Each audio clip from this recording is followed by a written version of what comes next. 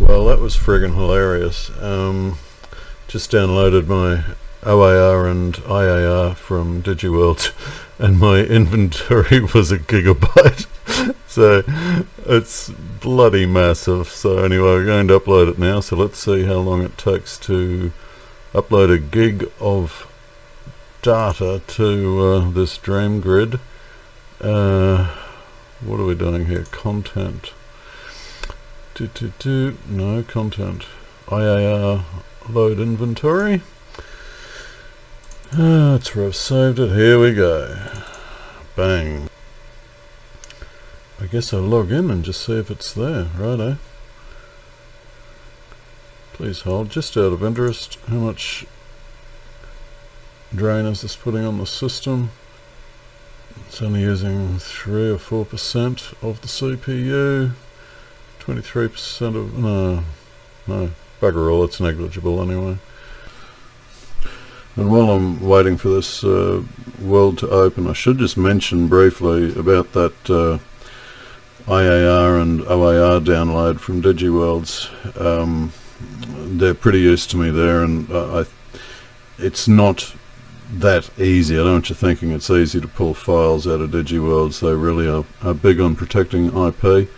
Um, but I'm pretty well known for not using anyone else's content so everything on my region I've made every every last molecule there is mine.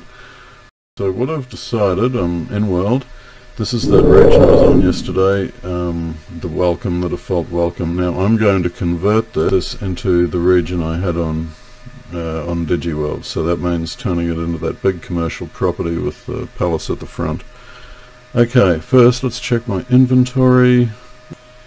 It looks like it's still loading. It's got 1,200 items. Okay, it's very interesting about what files it's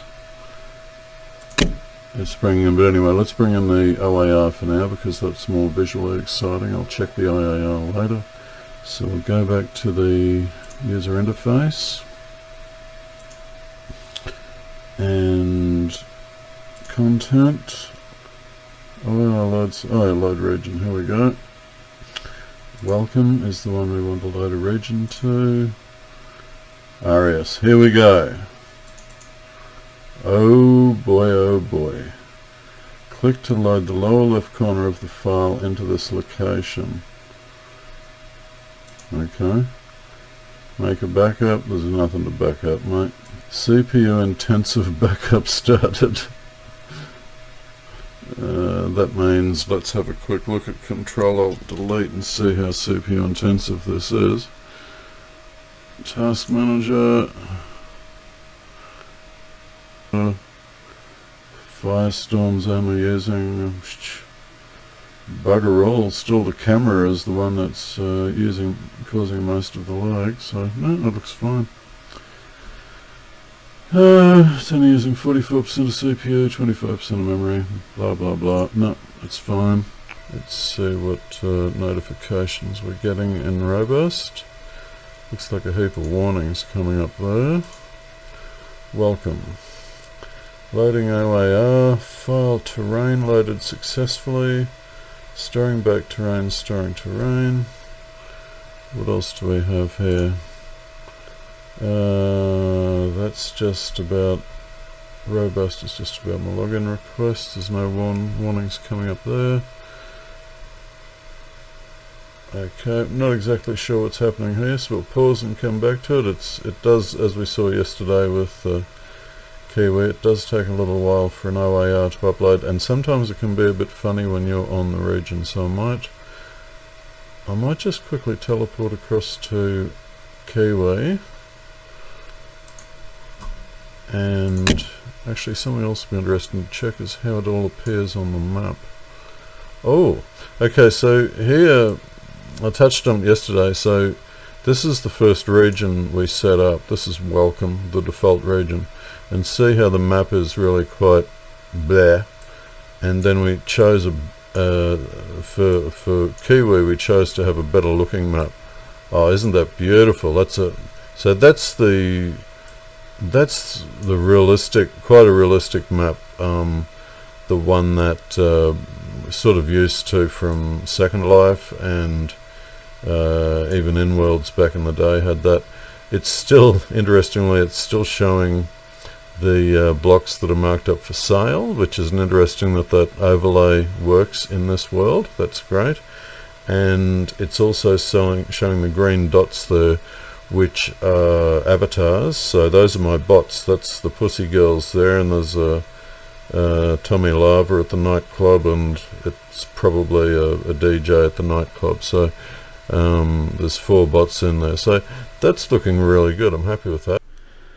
Okay, so we're back on uh, the Kiwi VAR region. This was the big 4x4 that I um, uploaded yesterday or in the previous video.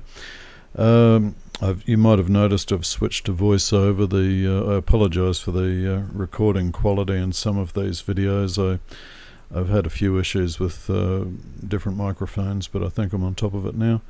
Uh, also, with this particular clip, uh, there was so much noise from uh, the avatar flying everywhere, so I thought, well, we'll switch to voiceover. But anyway, um, yeah, looking around here now, around Arius, it's looking really good. Uh, one thing I didn't show yesterday or on the previous video, part two, was that when I first uploaded the Kiwi region, I actually uploaded it twice and I didn't show that in the video, but I uploaded uh, one copy of the uh, Kiwi OAR file and because it wasn't loading quickly, I uploaded another version because I thought the first one was faulty.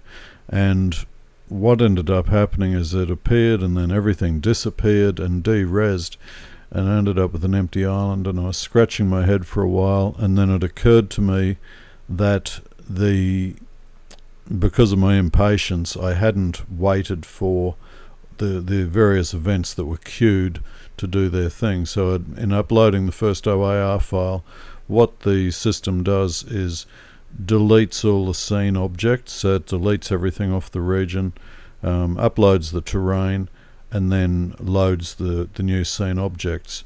Well, while the system was trying to do that, I decided to try and upload a new uh, OAR file, and all that happened is uh, because of the queue, it, it just deleted all the objects that were being rezzed. So I didn't show all that in the video, but for some reason I felt compelled to tell you now. Um, so if you do, when you do go to upload an OAR file, just be patient. Let the thing do its thing get off the region, walk away, and then come back in an hour once everything's settled down. So that's where we're up to with Kiwi now. Um, it looks beautiful. It hasn't lost an object since yesterday. Even my bots uh, are working. Uh, you would have seen a few floating around here. Uh, I'm quite surprised at how well they're working. Uh, they are they are five years old, but it's still they're still advanced tech for their time, and they're still still very good tech now. So uh, um, I'll remove them off this region now. But uh, yeah, it's good to note that tech still works. Okay, so uh, I'll log out of this region again now, and I'll, I'll, take off for an hour or two, and then come back and we'll uh, see what's happening on Arius and hope uh, on on Welcome region, which was where we're uploading the OAR file and hopefully that will uh, be a nice little replica of the Arius region I showed you on DigiWorldz. Fingers crossed. Righto, so here we are back on Welcome.